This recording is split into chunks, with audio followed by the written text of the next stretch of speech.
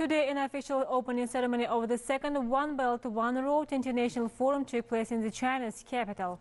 President Shavkat Mirziyoyev and more than 40 heads of states, as well as international and regional organizations, are taking part in the forum. One Belt, One Road is an extremely ambitious and far-reaching initiative that is not easy to achieve but has significant potential impacts, improving the social and economic structure of a major part of the world. Opening the forum, President of the People's Republic of China, Xi Jinping, expressed gratitude to the heads of all the participating delegations and to numerous representatives of expert and analytical circles.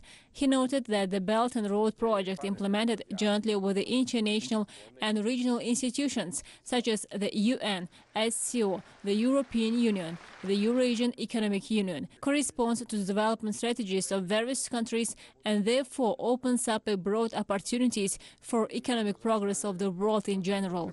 There was a talk also on the projects to be implemented to boost international trade and investment relations, to stimulate the creation of new transport and logistics corridors. It was noted that the number of nations participating in the project has been growing. This indicates a multi-inspiration for sustainable development in the world. It's worth reminding that the first international forum One Belt, One Road was held in 2017.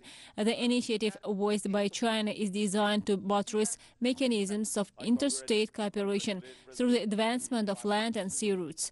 The scheme currently covers 65 countries across Asia, Europe and Africa. In the future, given potential accession of other countries, it will turn into a global economic platform.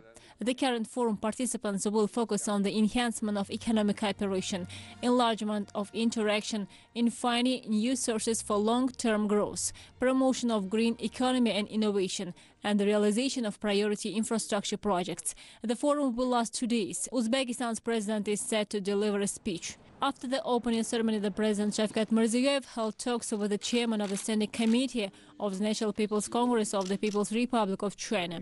They discussed topical issues of further strengthening the Uzbek-Chinese comprehensive strategic partnership as well as the regional and international agenda. As part of the One Belt, One Road Forum, the President of Uzbekistan, Shavkat Mirziyoyev, met with the Secretary General of the United Nations, Antonio Guterres. Negotiations were touched upon widening bilateral cooperation. The head of state particularly highlighted Uzbekistan's active participation in UN's projects and emphasized the significance of developing ties built on notions of unity and connectivity. Antonio Guterres in turn noted that UN respects Uzbekistan's position in discussing and resolving global issues, taking into account all countries' interests. During the talks, the sides discussed the issues of regional and international significance. On the same day, the head of our state participated in the opening of the new building of the Embassy of Uzbekistan in Beijing. All conditions for holding official events and receiving citizens were created.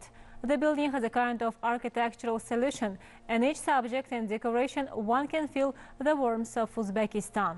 The working visit of the head of state to the People's Republic of China continues. We will inform about other details of the visit in our next releases.